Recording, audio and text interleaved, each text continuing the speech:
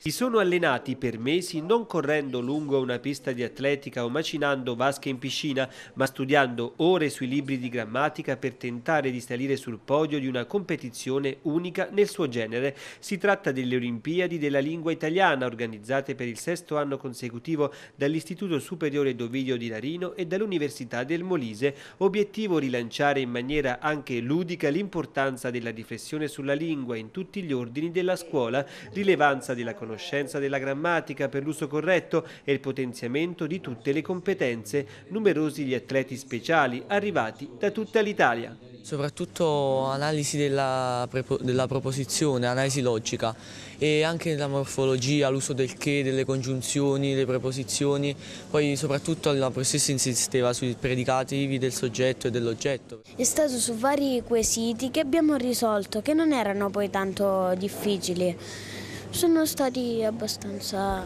facili. Parliamo una lingua bellissima che deve essere valorizzata ogni giorno, è stata una fortuna, siamo pieni di ragazzi molto talentuosi e ci siamo divertiti molto.